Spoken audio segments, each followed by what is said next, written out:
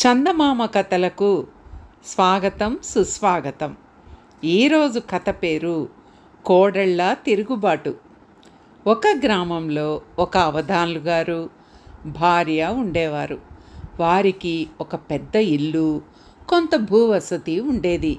వారికి ముగ్గురు కొడుకులు. ముగ్గురు కొడుకులు ఉదయం ఇంటి వద్ద భోజనాలు చేసి దగ్గరలో ఉన్న పట్టణాలకు వెళ్ళి ఉద్యోగాలు చేసుకొని తిరిగి చీకటి పడే వేళకు ఇంటికి వచ్చేవారు. గ్రామ్ గుడిలో రోజూ పురాణం చెప్పేవారు అవధాన్లు గారు. భార్య సాయంకాలం వేళ పురాణం వినటానికి వెళ్ళి చీకటి పడ్డాక బస్తీ నుంచి తిరిగి వచ్చే కొడుకులతో సహా ఇల్లు చేరుకునేవారు. అవధాన్లు గారి ముగ్గురు కొడుకులకు పట్నంలోనే పెళ్ళిళ్ళు అయ్యాయి. భార్యలు కాపరానికి వచ్చారు.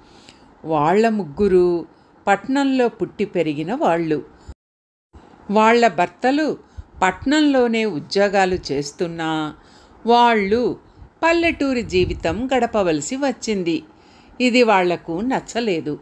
సాయంత్రం పూట అత్తమామలు పురాణం వినటానికి వెళ్ళి చీకటి పడ్డాక తమ భర్తలతో ఇంటికి తిరిగి వచ్చే మధ్యకాలంలో ఆ తోడి కోడళ్ళు తమ కష్ట సుఖాలు మాట్లాడుకునేందుకు బోలెడంత సావకాశం ఉండేది. ఈ దిక్కుమాలిన పల్లెటూరులో ఏమీ తోచదు అన్నది పెద్ద కొడలు. అవునక్క ఈ ముసలాళ్ళ మూలానే మన మొగుళ్ళు ఈ పల్లెటూరు వదలకుండా ఉన్నారు అన్నది రెండో కోడలు. మా ఆయన పట్నంలో ఉద్యోగం చేస్తున్నాడనే కదా నన్ను మా వాళ్ళు ఇచ్చారు. పల్లెటూరి గబ్బిలాయిలాగే బతుకుతానని తెలిస్తే మా వాళ్ళు నన్నిక్కడ ఇవ్వకనే పోదురు అన్నది మూడో కోడలు.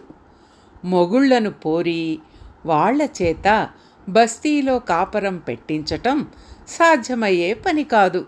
ఎందుకంటే అందుకు పెద్దవాళ్ళు ఎంత మాత్రమూ ఒప్పుకోరు. కొడుకులేమో తల్లిదండ్రుల మాట జవదాటరు. ఆ మాటకు వస్తే మనం మాత్రం ముసలాళ్ళ మాట జవదాటుతున్నామా అన్నది ఒక ఆమె. అందుకే మనం మరీ అలుసైపోయాం అన్నది మరొకటి. వాళ్ళ చెప్పిన మాటలు మనం చేయకపోతే ఏమవుతుంది? అన్నది మూడో కోడలు. అత్తమామల మాట వినడం లేదంటే మనమాళ్ళే మనల్ని తిడతారు అన్నది మధ్యలో కోడలు. వాళ్ళు చెప్పిన పని చెయ్యాలి కానీ చెప్పినంతవరకే చేయాలి. ఏ పని ఆశాంతం చెయ్యకూడదు. ఇదో రకం తిరుగుబాటు. ఇలా చేస్తే ముసలాళ్ళకు మనతో ప్రాణం విసిగి మనల్ని వేరే కాపరాలు పెట్టుకోనిస్తారు అంటూ పెద్ద కోడలు అతి తెలివిగా మిగిలిన ఇద్దరికీ ఒక పథకం చెప్పింది. అది చాలా బాగుందని అలాగే చేస్తామని మిగిలిన ఇద్దరు కోడళ్ళు కూడా అన్నారు. ఇక ముగ్గురు కోడళ్ళు తిరుగుబాటు ప్రారంభించారు. అత్తగారు ఒక కోడలను ఇల్లు చిమ్మమనేది ఆ కోడలు ఈ గదిలో దుమ్ము ఆ గదిలోకి ఆ గదిలో దుమ్ము ఈ గదిలోకి చిమ్మి ఇల్లు చిమ్మాను అత్తయ్యా అనేది. మామగారు మడిబట్ట ఆరవేయమంటే మరో కోడలు బట్టను ఉన్న పళంగానే ఆరేసేది. అదేమిటమ్మా మామగారి మడిబట్టను ఉతికి ఆరయ్యమనలేదే అనేది. అత్తగారు కోడలినన్నా అంట్లు తోమమంటే ఆ కోడలు అంట్లు తోమి కడగకుండా వదిలేసేది. ఆ కోడళ్ళ తిరుగుబాటు చాలా దాకా వెళ్ళింది. అత్తగారు మామగారికి అన్నం పెట్టమంటే విస్తట్లో అన్నం మాత్రమే పెట్టి కూర పప్పు పచ్చడి వేసేవాళ్ళు కాదు. పొయ్యి మీద నుంచి అన్నం గిన్నె దింపమంటే దింపి కట్టెలు ఆర్పేవాళ్ళు కారు. పొయ్యి మీద ఏదన్నా మాడుతుందేమో చూడమంటే మాడేదానికేసి చూసి ఊరుకునేవాళ్ళు. కోడళ్ళ ఈ ప్రవర్తన ముసలి వాళ్ళకు చాలా బాధాకరంగా పరిణమించింది. వాళ్ళు కోడళ్ళను ఏమీ అనక కొడుకులతో చెప్పుకున్నారు. కొడుకులు అంతా విని మీరేమీ దిగులు పడకండి. వాళ్ళ సంగతి మేము చూస్తాము అన్నారు. వాళ్ళ ముగ్గురు తమలో తాము మాట్లాడుకున్నారు. వాళ్ళు తమ తమ భార్యలను సంక్రాంతి పండగ రాబోతున్నది ఏం కావాలి అని అడిగారు. నాకు కంచిపట్టు చీర అంటే ఎంతో ఇష్టం అన్నది పెద్ద కోడలు. నాకు బంగారు గాజులంటే తగని మోజు. అన్నది రెండో కోడలు. ఇక ముఖ్యంగా మూడో కోడలు ఏమందో తెలుసా? నాకు చంద్రహారం మీద అమిత సరదా అన్నది. ఇది జరిగాక ముగ్గురు కోడళ్ళు సంక్రాంతి పండగ కోసం ఆత్రంగా ఎదురు చూడసాగారు మధ్య మధ్య వాళ్ళకు అనుమానం వస్తూ ఉండేది. పెద్ద కోడలు తాను కోరిన కంచిపట్టు చీర ఏ రంగుదో చెప్పలేదు. రెండో కోడలు తనకే రకం బంగారు గాజులు కావాలో చెప్పలేదు.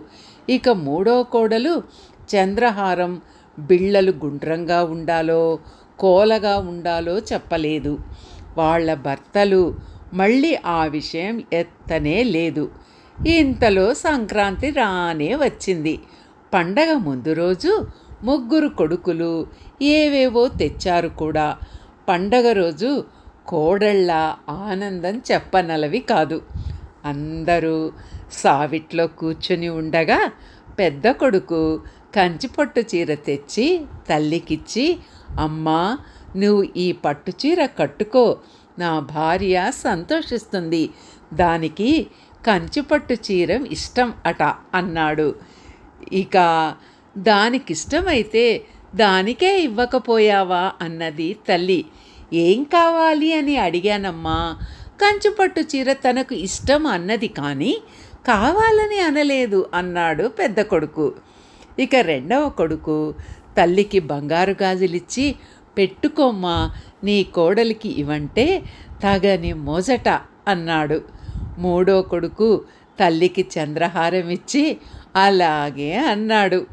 ముగ్గురు కోడళ్ళ ముఖాలు అవమానంతో ముడుచుకుపోయాయి. వాళ్ళు దుఃఖం ఆపుకోలేకపోయారు. వాళ్ళు అత్తమామల కాళ్ళ మీద పడి తమకు తగిన శిక్షే అయిందని క్షమించమని అన్నారు.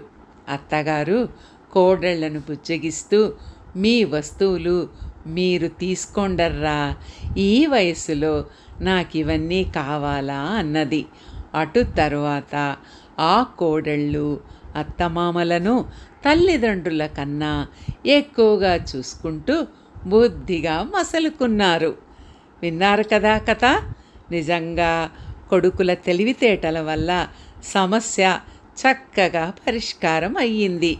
ఏదైనా కుటుంబంలో సమస్యలు ఉన్నట్లయితే అందరూ ఈ కొడుకుల్లాగానే సమస్యను పరిష్కరిస్తే ఎంత బాగుంటుంది కదా? అదే అండి సంగతి. మరి ఈ కథ మీకు నచ్చినట్లయితే తప్పకుండా లైక్ చేయండి ఇతరులతో షేర్ చేయండి. అలాగే ఇంకా మరిన్ని మంచి మంచి కథల కోసం నా ఛానల్ను సబ్స్క్రైబ్ చేసుకోండి. All of you take care. Thank you friends.